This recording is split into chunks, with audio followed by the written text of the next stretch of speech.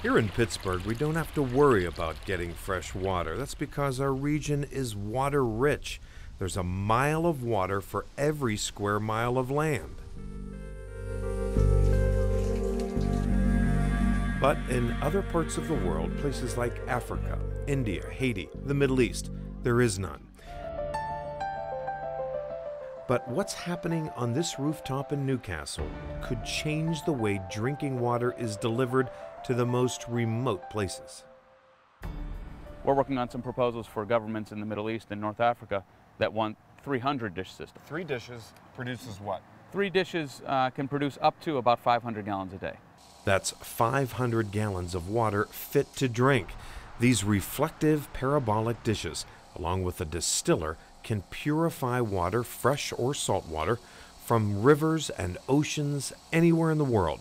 It's the invention of Tom Joseph, a mechanical engineer out of New Castle. If you ever burned a piece of paper with a magnifying glass, uh, all you're doing is you're taking the sunlight and focusing it all down to one little point. And at that point, uh, you've intensified the sunlight by anywhere between 100 and 400 to 1. Uh, and when you do that, the, the light is so intense, it can generate heat up to about 4,000 degrees Fahrenheit. So we're doing the same thing, except for using a satellite dish as the concentrator. The sunlight hits the dish and reflects back to a point. And at that point, we get really, really intense sunlight. When that light hits a black surface, it turns to heat, and then we use that heat to heat water, generates steam, and then the steam recondenses, and that's clean water. It's almost like a whiskey still, except for water. At first, Tom was trying to find a way to build an electrical generator using concentrated solar energy. But after seeing a PBS special on scarcity of clean water in the world, Tom changed focus. When I saw the special, I said, well, I wonder if we could use the excess power from this power generator, the excess heat, to somehow purify some water. And then I did a little more research, and the more I thought about it, the more I thought, well, why don't we just use all of the heat to purify water and just eliminate the power generation for now? Because power won't do you any good if you're dying of waterborne illness. Tom built a prototype, and it worked. Epiphany Solar Water Systems is up and running. Now Tom's crew is busy getting ready to hit the markets. Increasingly, everybody needs it. Uh, Ron Pettengill is Epiphany's CEO. He says in developing countries, 50% of the water sources are contaminated. Foul water is a huge problem, both socially and economically. it takes energy to produce fresh water. The, the, more and more that the freshwater stocks in the world diminish, the more energy is required to take seawater and turn it into fresh water. So what we've done here at Epiphany is really come up with a solution that uses um, readily available energy, which is the sun, right? Use that to then be able to desalinate water, turn it into fresh water, right? Which allows a is is it's it's cheap. It's on one, on one hand it's, it's less expensive, but also it's it's it's sustainable. We're not using petroleum. Is this energy system cheaper? It's about on par with the best current water purification technologies, water, uh, water desalination technologies. So we can take ocean water, make it into clean water for about the same price as it's currently done with conventional energy sources, petroleum or, or uh, coal sources. But more importantly is it's alternative energy powered. So no, it's the same price, but we don't have any of the environmental impact. It's clean. It's absolutely 100% sustainable.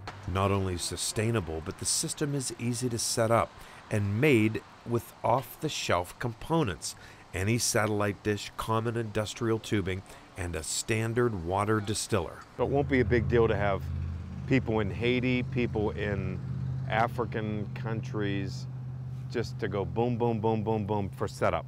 That's right. Our design logic is that a bicycle mechanic in India needs to be able to set the system up and keep it running. Think about what we're doing here, right? When you when you install one of our systems, we don't hook into the grid. That's what sustainable means. We're making our own energy. So that example I cited before in Oman, right? These are remote villages. I don't need to put in electrical infrastructure. We go, we set it up, we use the sunshine to do the distillation. They're self-sustaining. And when the sun doesn't shine, Epiphany's got that covered too. It's a hybrid system designed to automatically switch over to electricity. Currently, in the Middle East, the Persian Gulf area, 95% of the water comes from the sea. To make it drinkable, it's desalinated by reverse osmosis, a process that removes the impurities by using high pressure, pushing the salt water through a very fine filter. It's a process that takes a lot of energy. So every time you build a reverse osmosis plant, you also need to build a, an electricity generating plant right next to it. So uh, currently their cost of water delivered to an end user is somewhere around a nickel a gallon. Uh, we could do it on a small scale and already be better than that economically, and we can do it without the need for conventional power sources. While the Middle East may not have natural fresh water, it does get plenty of sunshine. So when Epiphany was ready to introduce their solar water system, they went to the desert, the World Future Energy Conference in Abu Dhabi. We went there expressly with the purpose to validate our concept, which we did. I mean, we were really, really, I mean, we were delighted. We had huge traffic.